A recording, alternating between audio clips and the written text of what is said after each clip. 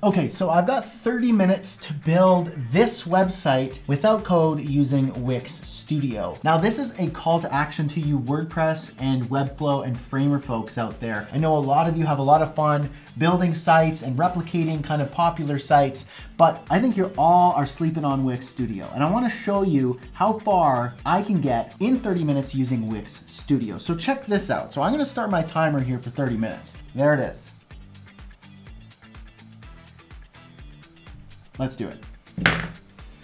And we are off to the races. So I got to grab the colors, the fonts, and the images. Easy enough on the homepage. I'm just using a few plugins here to download all the images, all of the fonts. I could find out we're just using Inter and some some premium font that's a serif style font. I'll just use something else. And then also the colors. I grab the colors using another plugin and I can see the color palette here. So I'm just gonna grab those hex codes and what I'll do is head over to Wix Studio and in the sidebar here, I can update the site styles, the colors, typography, and add all the images. So I've added the colors here. We've got that red, that matte red right there, and that's it. Thankfully, they have really simple color palette. Typography, I've updated all of the text styles to be Inter, except for the H1, which is going to be Adobe Caslon, and I'm gonna make it white because when we show the H1 on the homepage, it's in white. Okay, and then what I wanna do is make sure all of my site files, which are the images, the SVG files, and that background video are all uploaded here. So I've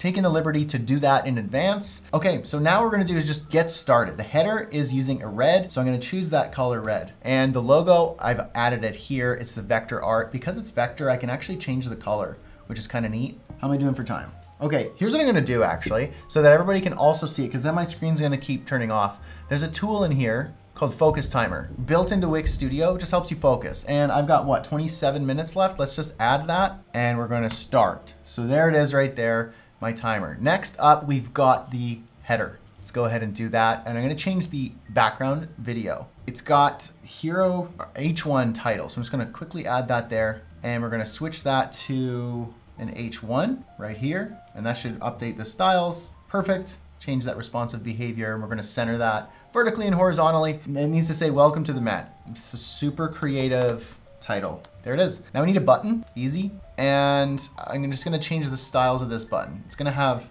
what is it, no background? Yeah, it's just see-through, hairline border, slightly rounded, hover, turns white. All right, that's better. That's, that's so close. And I'm gonna take these two elements. Right now, they don't know they exist. And so I'm gonna turn that into a stack, which is the same thing as auto layout in Figma. In HTML, in the code, in the markup, it creates a container, a Flexbox container so that they have like they're they're related to one another. They have a relation. So now I can actually take this and I can change things like the item spacing. I can use all sorts of measurement units. I'm gonna just use something like 20 pixels. This whole container vertically aligned and horizontally aligned. So now it's perfect. Okay, now what do we gotta do? Let's move down and we have to create these sections. I'm gonna build this in a repeater. I design it once and I can, and, and all of the elements will, will follow suit. Just, and how are we for time? 23 minutes, okay. And then I'm gonna do something interesting down here, but I'll reveal that in a minute. So let's head back here. I'm gonna add a new section and then under the add panel, let's go and add a repeater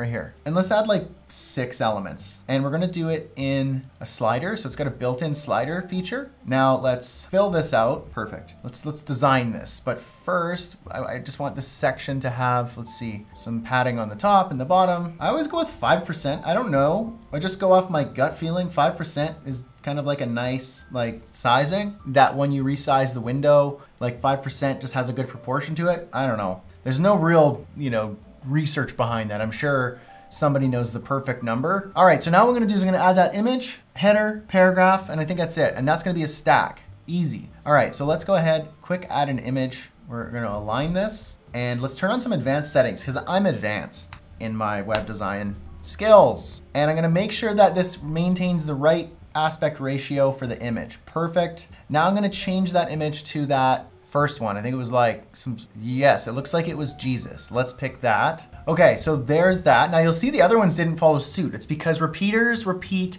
styles, not content. And we want that because we don't want each of these repeaters to have the same content. we want it to have different content. So what you do is change the images for all these. I'm gonna keep their timer going though, actually, so that you see I'm not cheating. Perfect, so these are li lined up here. I have one empty one, but whatever, who cares? And now I'm gonna add the text. It's just a simple heading and then a paragraph with some copy there. So I'm gonna go ahead and quick add title and a paragraph. For the sake of time, I'm gonna mostly focus on layout here. I'm not gonna focus on the exact text and content because then I'd spend so much time, you know, doing italics and formatting and all that sort of stuff. I wanna focus on layout. The point here is I wanna get this laid out as as quickly as possible, and then you'd spend time afterwards tweaking things and updating copy, and then I would add this to like a content management system so a client can update and add new pieces of content and update the homepage without messing with the design. So I'm just gonna do layout, not content. So let's go ahead and make sure that these elements are laid out properly.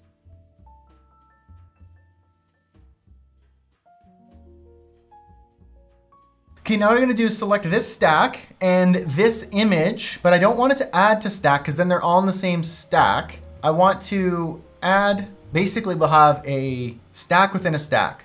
So we have like a bigger stack, which is a container, auto layout. And then in that we have another group, which is stacked as well. And we're gonna stack those vertically. And I'm gonna change the item spacing to, let's see what 5% looks like. You see how 5% works for everything? 5% is the magic number, okay? I did a video a long time ago about like the Divina Proportione, the divine proportions. And look at this, Jesus is here. 5% is the magic number, I guess, is the divine number. Nah, it's probably not. 5% just looks good here. And I don't want a background. I'm pretty sure there's no background here. Yep. And we're going to remove that background and fix the alignment here of the repeater itself or the, the height. The height, I don't want it to be that high. So all I gotta do is just take this whole section and whoops, that's padding.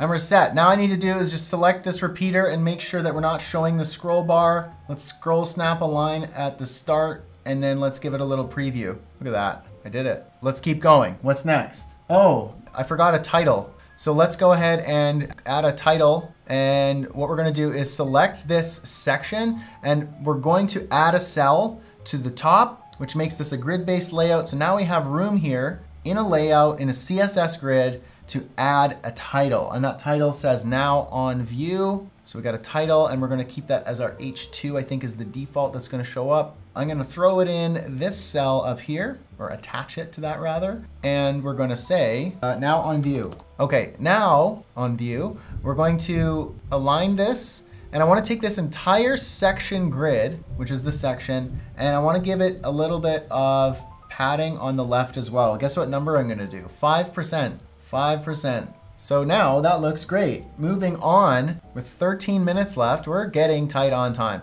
So now, because we're tight on time, I'm going to do a little bit of web design magic. Wix Studio has a plugin called Figma to Wix Studio.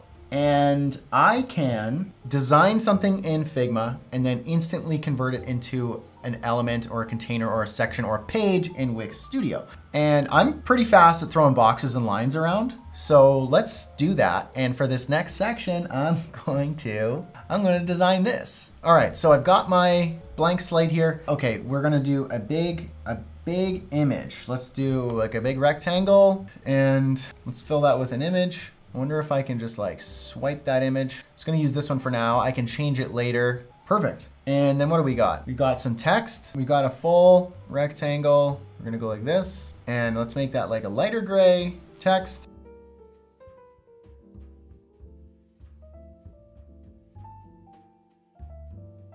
Auto layout. And then I'm also going to add this to the auto layout. Perfect. I think I can get rid of that because now what I can do is take this frame and give it a background color. Perfect. Uh, and I want some space.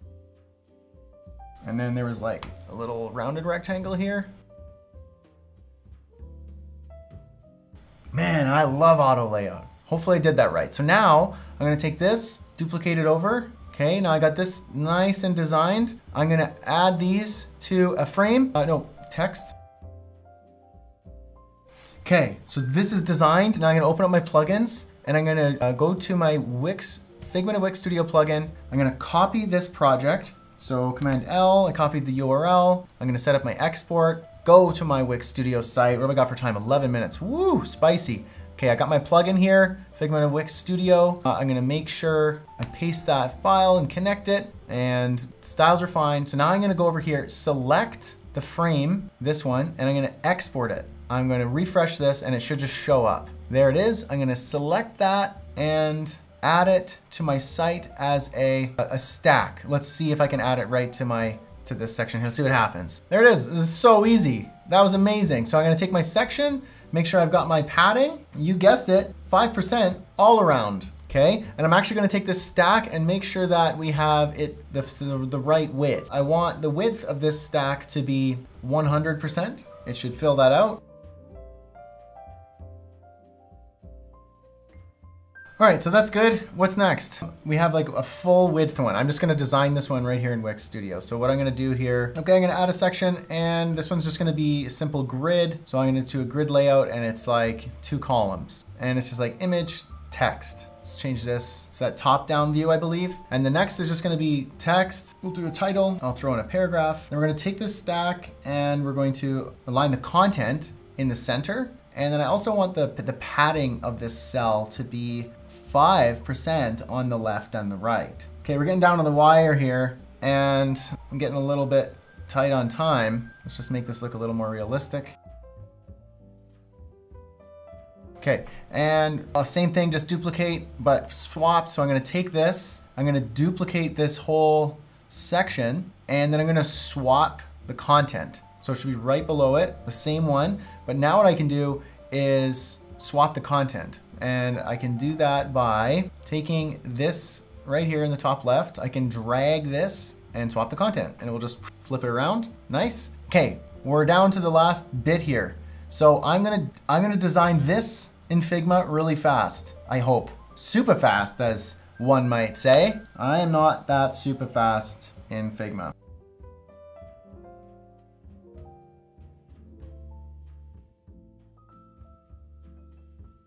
Okay, so now I'm gonna take this frame, I'm going to export it back over here, and we're really tight on time. Let's go ahead, refresh that import. It should just pop up. And I'm just gonna take this, let's add it as a container. Let's see where it adds it. Should add it to the bottom, hopefully. Perfect, and, and this is just going to fit. Ooh, we are so close on time. Take this, container. Okay, and then I'm just going to give it a little bit of spacing so it looks okay. Like I said, I'm not doing content, mainly just layout. And then finally, just like the footer, uh, let's just make it red. Let's make the footer red. The color is gonna be this. Let's see if we could split this down the middle and we'll add just like a little form, 30 seconds left. We'll just go like forms. Where's my forms? Where's my forms? And could just add like one input field. A lot of, ah, I don't want to create a new form. Okay, I'm just going to go and add a shape to make it look like a form for now. Just like a container. Four seconds, three, two. Uh, I don't think I'm gonna have time to add my little form. Okay, all right, time is up. All I was gonna do here was just take this and resize it and make it kind of look like a form and cheat a little bit. But let's go ahead and take a look at what I've built. And 30 minutes, we built this in Wix Studio without code. Look at this, the Met Museum official homepage right here. I gave myself 30 minutes and built this out. Everything's here for the most part. We got the background video, we've got the slider here, we've got this locations and hours section. Here we got that swapping layout, that looks pretty good. And then we got the more to explore and then a silly footer. I didn't get to finish that. Is it perfect? No, it's not. But 30 minutes, come on. Give me another 30 minutes and I'll make this look exactly like the homepage and you won't be able to tell any difference at all. And it will be responsive. P.S. Check this out responsive by default. I can just move this up and down and it's already gonna look good on all your devices. Then I can override certain things and make it look good in all the layouts. I can tweak it to look perfect on mobile, responsive. I can uh, make it look good on tablet. I could do all of it. This is a call to action for you WordPress and Webflow and Framer friends out there. I love what you're doing on your platforms, but you're sleeping on Wix Studio. Give it a try, wixstudio.com. You can build unlimited sites for free. Try it out. Let me know what you think down in the comments. Thanks for watching. We'll catch you next time.